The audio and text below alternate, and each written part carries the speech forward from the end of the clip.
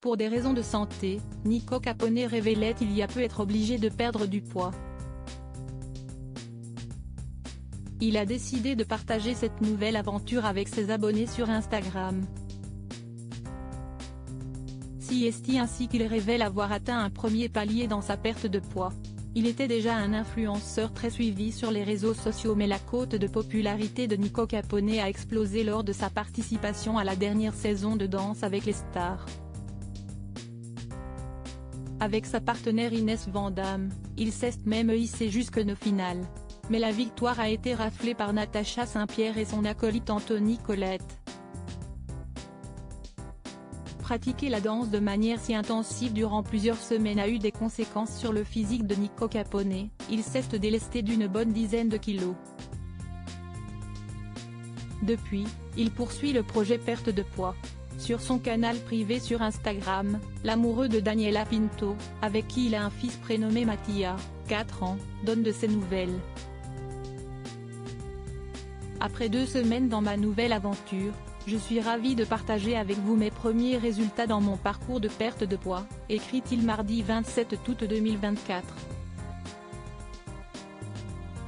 Jour 14, pesé à 153,7 kg, soit une perte de 9,7 kg depuis le jour 0. Une belle avancée vers son objectif. Je suis très heureux de ces premiers progrès, mais n'oublions pas, la perte de poids est un véritable marathon. Si est super d'avancer rapidement, mais l'essentiel est de tenir la distance, ajoute le youtubeur de 33 ans. Et s'il ne prend pas, encore, de plaisir devant son assiette ni lors de ses séances de sport, cela ne saurait tarder, mon coach m'a même assuré qu'au fil du temps, je prendrai plaisir à m'entraîner et à savourer des repas sains. Ce n'est pas encore gagné, mais je commence à croire qu'il a raison. Nico Capone obligé de maigrir pour des raisons de santé Rappelons que si est à la suite de problèmes de santé que Nico Capone a pris la décision de perdre du poids. Sur les réseaux sociaux, sa compagne Daniela indiquait qu'il était crucial qu'il perde du poids. De son côté, Nico Capone avait également pris la parole, comme vous le savez, je suis en surpoids. Je le sais, j'ai quelques petits soucis de santé. Quand tu es surpoids, le cœur est entouré de graisse, donc il faut faire très attention.